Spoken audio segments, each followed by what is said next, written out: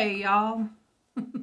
Welcome to another shower cap rant. Uh, this is Shirley U. Jest, if you don't know. And I got some things I want to say. So, you know how there's them people that they get all worked up, like right away, when they hear something or see something, that they're just worked up. It takes me a while. Maybe Oh, gotta fix my collar here. It's, it's ridiculous. So, it takes me a while to get worked up. I gotta think about it. So, maybe I'm the only one, but I get my works up in the shower. Because you aren't going nowhere. You're stuck there. You got a lot of stuff to wash. So you think. And I got to thinking today, maybe I shouldn't have yelled at that little Bobby kid from down the street when he peed on my tomato plant and it died. Maybe I shouldn't have yelled at him. It's possible that he just didn't know. He didn't know that when he peed on my plant that it would die. Boy's only 17. Maybe nobody told him. I feel kind of bad about that. Think I should take him a tomato plant? Nah, he'd probably just pee on it anyways. You know, another thing that got me thinking in the shower was about that Judy person.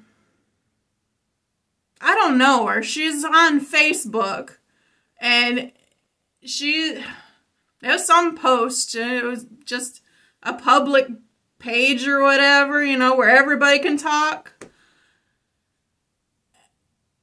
And she she commented that when she gets really frustrated with her kids, she just sends them outside, makes them hang on the line.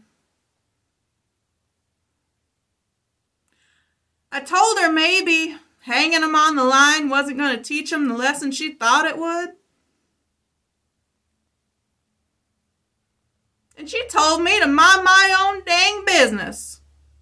Well, okay then, you pub you publicly posted that you're hanging your kids on the line, but I'm gonna mind my own business. Sure. Maybe you shouldn't air your dirty children on the Facebook and you wouldn't get my opinion. Mm-hmm. Some things should be done private. Like when I used to put them out in the woodshed. I didn't tell everybody about that. Um, I didn't do that. I didn't do that. So, I just don't know how these people have so much time on their hands to argue on the Facebook. And the what's a Twitter? People keep telling me about this Twitter. I don't understand it. What is a Twitter? Sounds sounds naughty to me. I don't know about you people. Hmm. So, I ain't got time to argue with everybody on Facebook. I got a garden to care for. I got a husband to feed. I got to catch all my programs on YouTube. You know, the, the reality ones where people have the cameras following them around and they talk to them while they're by themselves.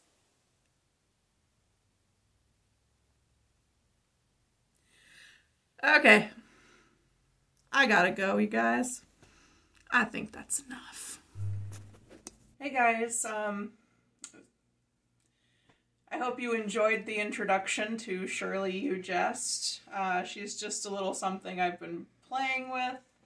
Um, let us know what you think of her, if you'd like to see more of her, or any topics you'd like to hear from her about. Um, thanks for watching, guys. Take care and God bless.